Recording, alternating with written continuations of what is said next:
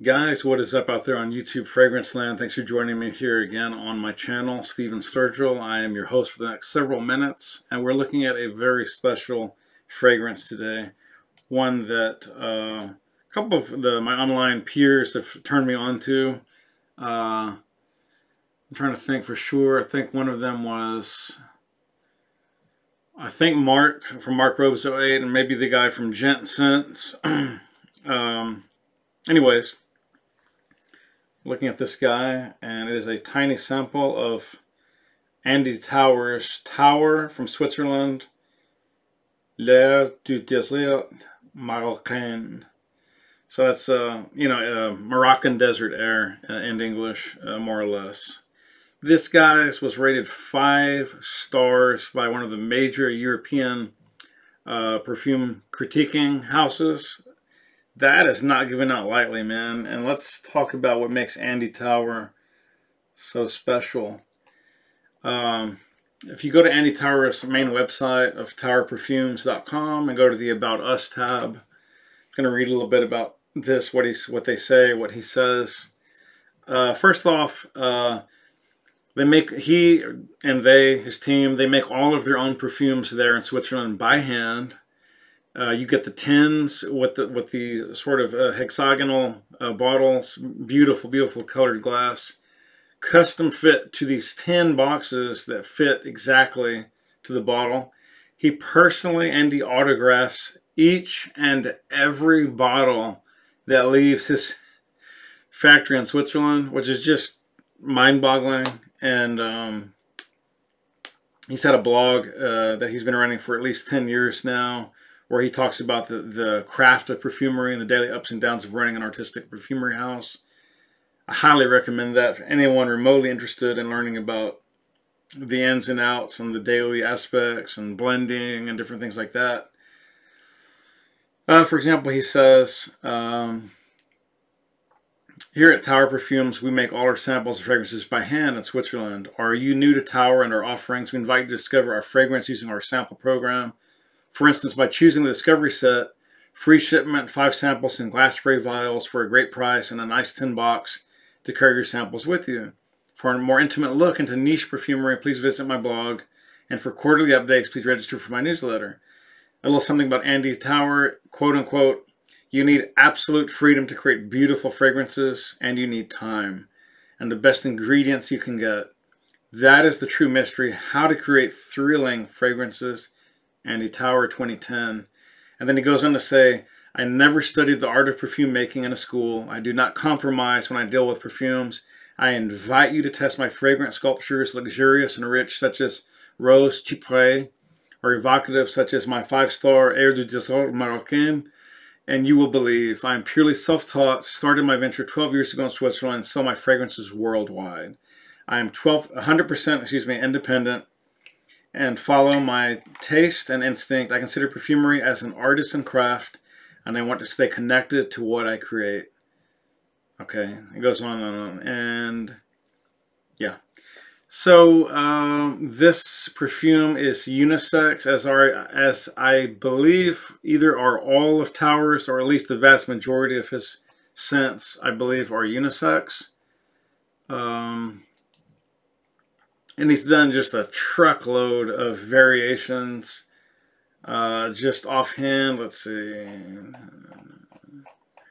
I believe he's done around 40 roughly uh, scents to date uh, that I know about or that I that I see here paginated uh, and delineated um, on the different you know you know who they are websites like Basenotes and the other guy. Uh, but this one here let's get into the notes and talk about it just a little bit this dropped way back in 05, and I say way back, it's not really that long ago, but then again, it's 13 years ago. So, well over a decade, approaching that decade and a half point. It's just hard to believe that time is flying this quickly. This is very highly rated on the different blogs and websites, uh, garnering on average somewhere around a four and a half out of five, broadly speaking a lot of lovers out there, a lot of ardent, hardcore Tauer fans out there. Uh, again, the bottles are so distinctive. Uh, so extremely geometric, just what I call a pure geometric shape uh, with a very sort of odd, plain looking little square or slightly rectangular uh, caps. Uh, really cool, very cool look. And, and again, that blue sort of blown glass look, you know, about their, you know, with the uh, hexagonal um, or pent pentagonal. Why am I saying hexagonal? One, two, three. I meant to say pentagonal, the pentagon. Uh, they are five-sided, not six. I don't know what I was saying. that. Anyways, um, so what can we say about this? Well, what is it supposed to give us? It's supposed to give this air of the Moroccan night desert air, spicy, oriental, uh, some wood, some vetiver, some ambergris, um, some rock rose, some jasmine. Uh, it's got there, there's definitely some animalic. There's some green. There's some woodsy aromatics. Uh, so at any rate, we're supposed to get things like, let's see, what does that say? Coriander. Oops, uh, get off there. It's blocking me from looking at the thing. Some comino or cumin, some petitgrain. Oops. Some lavender. You get your floral aspects from lavender and jasmine. Okay, something on my site is I mean, on my computer's running really slow. I don't know why. Birch. We get some cedar, of course. We get some vetiver. I already said that. Uh, amber or ambergris. Um, I feel like I'm missing something. I thought this maybe had some nutmeg in it. I'm not sure. It has oak moss and geranium and some patchouli. So we get that little desert patchouli kick. And it does have labdanum, uh, or, or it is believed to have labdanum. Uh, I'm not sure if that's official or not. So let's get into it without further ado. Do not want this video to run too long. And I do not want to spill this very expensive sample juice. Here we go. Oh, wow, that is that is very fragrant. Oh my god, that's woo! Wow, that is. Oh man, wow. Whoo! Man, there is nothing cheap about this, guys. This is not your drugstore cheapy. Okay, I'm, I'm, getting immediately just that blast of vetiver and cedar, the ambergris some lavender, some geranium for sure. What else? Some, uh, let's see, some cumin, some petitgrain for sure. Coriander's coming through. The labdanum. It's funny, it has a sweet, I, mean, definitely getting the oak moss now. It's just, it's spicy, it's rich, it's fragrant.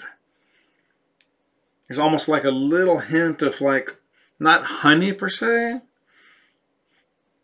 but like something darkly sweet, uh, almost like the leftovers of like a caramel brulee, but without the gourmand, uh, overly sweet aspect of it. Like if it were just, uh, I don't want to say dumbed down, that's not the right way to say it, but if it were just sort of mm, reduced and, and, dried down, uh, that, that aspect is in there along with the floral component. Uh, there's an almost slight essence of ginger because of the different interplay of the geranium and the, uh, the cedar and the patchouli. There's also a very, very light hint of incense. It's very, very mild, but it's there nonetheless. Oh, wow. Let me just take a little dab more.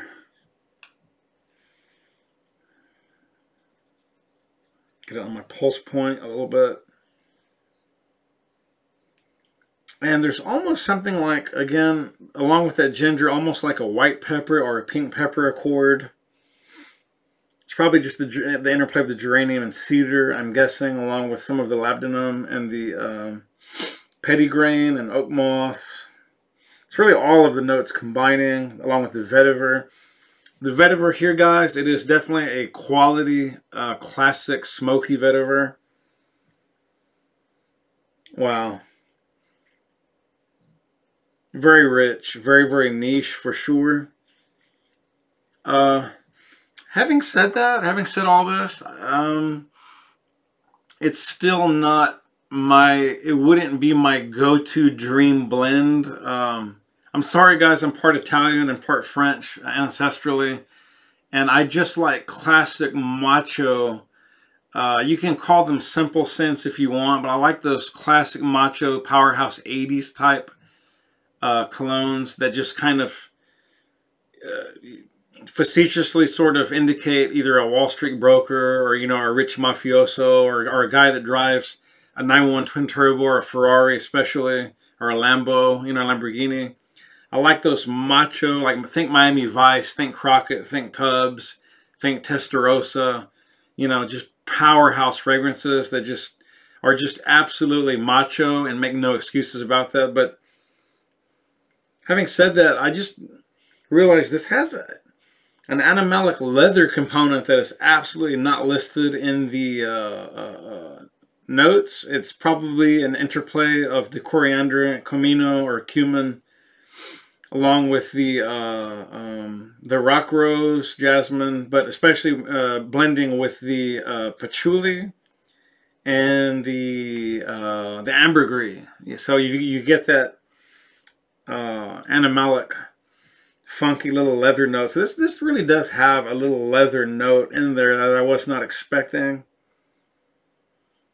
It's very well done. It's very, very exotic. Uh, it's definitely high dollar. Screams high quality and niche all over the place. Get your nose on this, guys, but do order a sample like I did before you go whole hog. While these are affordable, they are not cheap at all. I think Andes, uh, I think his, I don't know if they come in one size or not, but I think they will set you back around 250 to 300 bucks uh, for the bigger size. Uh, don't quote me on that, but I know for a fact, Bubba, they ain't cheap. So if you got to ask, you may not be able to be on a budget to afford this, but uh, it really is exquisite. Again, it wouldn't be my dream scent, if, if that makes sense, and no pun intended. But then most frags aren't my dream scent uh, either. So I'm not going to not recommend something because it's not my dream scent, but I will give this a recommendation if you like something that is exotic, fragrant, woodsy, spicy, oriental, with an strong animalic, slightly leathery component, with that smoky vetiver, little oak moss in there. You got your ambergris or whatever, your amber. Uh, it's a woodsy oriental aromatic. Um, there's really no fruit components in here whatsoever, but there is sort of a little hint of, of like an ambery caramel brulee, but just at the very, very base, not in a gourmand sense again. Uh, get your nose on this, guys. It's fantastic stuff. Uh, just because I'm not falling in love with it as my go-to scent doesn't mean you might not. Uh, you might love it a heck of a lot more than I am loving it. But I'm certainly appreciating what it brings to the table and it screams absolutely niche, uber high quality, absolutely sparing no expense uh, with the ingredients. So that's going to wrap it up. Thank you for joining me today, guys, and we'll see you next time on my channel on the YouTube. If you like, subscribe, and click the bell, please, for future updates. I will see you next time. Thank you so much for joining me today, guys. Spray often, spray well, live life on your terms, not someone else's. Peace.